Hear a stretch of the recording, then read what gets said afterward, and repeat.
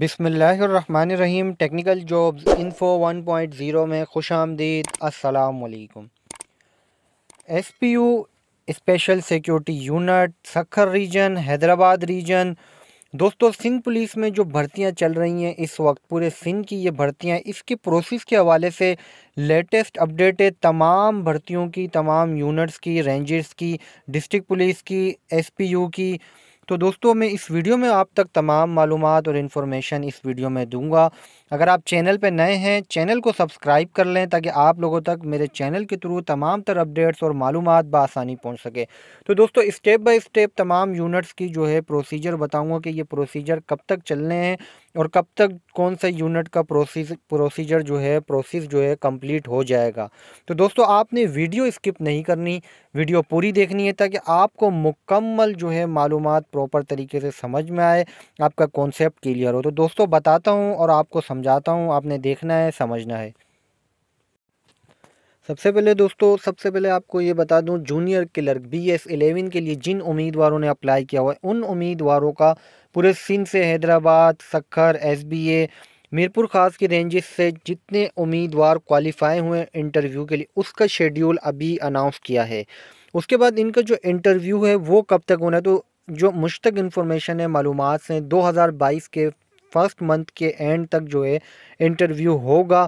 ابھی تک کی انفارمیشن کے مطابق یہی معلومات ہیں کہ ان کا انٹرویو جو ہے دو ہزار بائیس میں ہوگا۔ لیکن دوستو، یہاں پر آپ کی ایک بات اور کانسیپٹ اور کلیئر کر دوں۔ ڈیٹ ایکسٹینڈ ہو بھی سکتی ہے اور ڈیٹ جو ہے قریب بھی آ سکتی ہے۔ تو آپ نے اپنے مائنڈ میں یہ جو ہے اپنا کانسیپٹ کلیئر رکھنا ہے۔ تو junior clerk B S eleven والوں کا جو ہے انشاءاللہ نیکسٹ منتھ جو ہے انٹرویو ہوگا۔ اس کے بعد بات کرتے ہیں ہم S S U commando special special security unit Sindh police کے سائیکومیٹرک ٹیسٹ کے رزلٹ کی بات۔ تو اب یہاں پر بات آتی ہے سائیکومیٹرک ٹیسٹ رزلٹ کی ایس ایس یو کے جو کینڈیڈیٹس ہیں جنہوں نے اپنا سائیکومیٹرک ٹیسٹ کا سائیکومیٹرک ٹیسٹ جو ہے دے دیا ہے۔ تو دوستو، آپ لوگوں کے لیے جو معلومات ہیں مشتق، آپ لوگوں کا رزلٹ ابھی ورک ہے انڈر پروسیس ہے، اس کے چانسز ہیں کہ یہ جو ہے منتھ کے اینڈ تک آ جائے، نہیں تو اس کو جو ہے ایک سے ڈیڑھ منتھ مزید لگے گا۔ کیونکہ اب آپ لوگوں کا جو رزلٹ اناؤنس ہوگا، اس کے ساتھ ساتھ آپ لوگوں کی جو ہے انٹرویو کی کالز کے لیے بھی جو ہے آپ کا پروسیجر جو ہے بنایا جائے گا۔ تو آپ لوگوں کی چانسز ایک سے ڈیڑھ منتھ میں ہے جو انفارمیشن دے۔ آپ لوگوں کے جو تمام بھرتیاں ان کا پروسیجر ساتھ چل رہا ہے، لیکن یہ یونٹس الگ الگ ہیں۔ تو اس کے لیے جو ہے منتھ میں فرق آتا ہے ڈیٹ ایکسٹینڈ ڈیکریز اور انکریز ہو جاتی ہے۔ تو آپ لوگوں کے لیے معلومات یہی ہیں کہ آپ لوگوں کا رزلٹ بہت جلد آ جائے گا۔ انشاءاللہ اس منتھ کے اینڈ تک نہیں آیا تو ایک سے ڈیڑھ منتھ مزید لگے گا۔ اس کے بعد دوستو سکھر ریجن والے، سکھر ریجن والوں کے لیے جو معلومات ہیں وہ بتاتا ہوں۔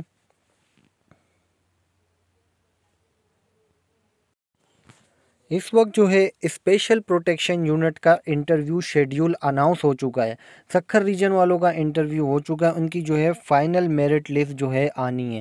تو دوستو، اب یہاں پہ بات آتی ہے کہ جو ایس پی یو والے ہیں ایس پی یو کا پروسیجر جو ہے پروسیس فاسٹ چل رہا ہے کیونکہ سی پیک ایریا پہ جو ہے جوانوں کی ضرورت ہے ریکروٹمنٹ بھرتی کی ضرورت ہے۔ تو اس لیے جو ہے ایسے ایس پی یو والوں کا جو ہے انٹرویو ہونے کے بعد چانسز یہی ہیں کہ سکھر ریجن اور ایس پی یو والوں کا جو ہے انٹرویو جو ہے فائنل لسٹ جو ہے ساتھ ڈکلیئر کی جائے۔ اب چانسز یہی ہیں کہ ان کو بھی دو ہزار بائیس میں جو ہے فائنل کر لیا جائے۔ فرسٹ منتھ کے اندر ان کا بھی جو ہے پروسیجر کمپلیٹ کر لیا جائے اور result final merit list announce کر دی جائے۔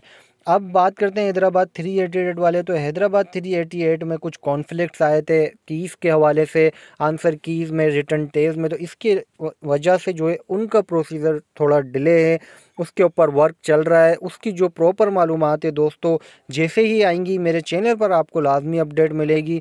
مزید معلومات کے لیے چینل پر نظر رکھیں، مزید اپڈیٹ کے ساتھ دوبارہ آؤں گا۔ جب تک کے لیے آپ سب سے اجازت چاہوں گا، اللہ حافظ۔